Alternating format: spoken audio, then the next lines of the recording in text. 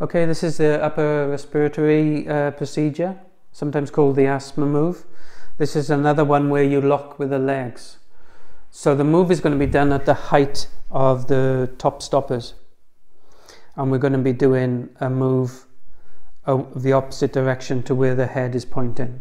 Okay, so for me to do that side, I'll be lifting this leg 90 degrees, going out until a point of resistance, and then just holding it still. And then we're doing the move just at the bottom of the scapula just to the bottom edge there.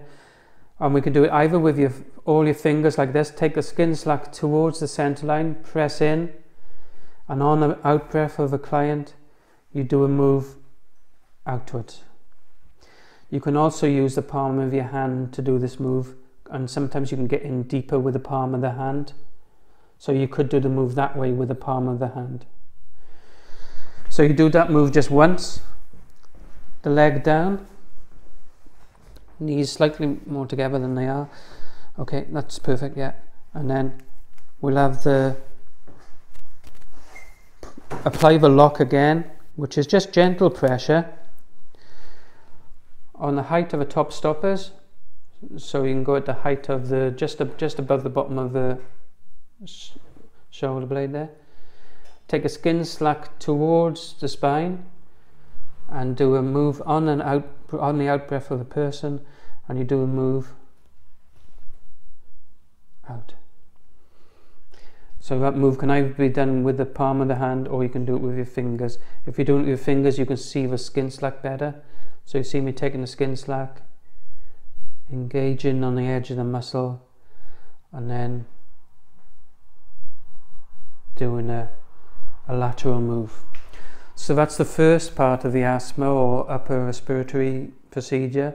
So now we need to turn the client over.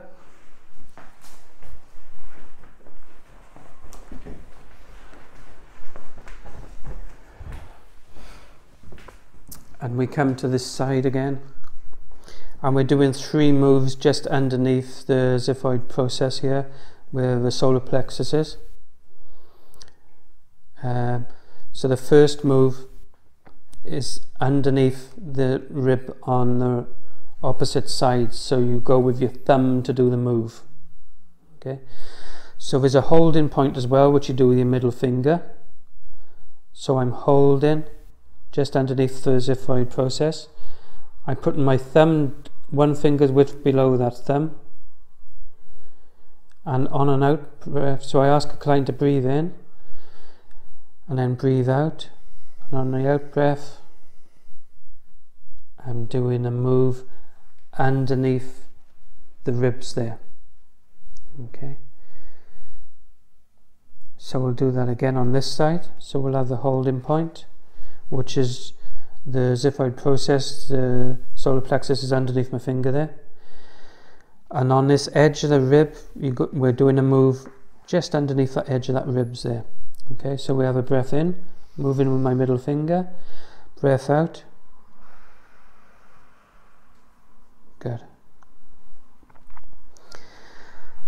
And then the last move of your middle finger, you take a skin slack up towards the xiphoid process, and then on and out breath, you do a move down towards the belly button. Okay, let it go just as far as the skin slack will allow you to go. Okay, good.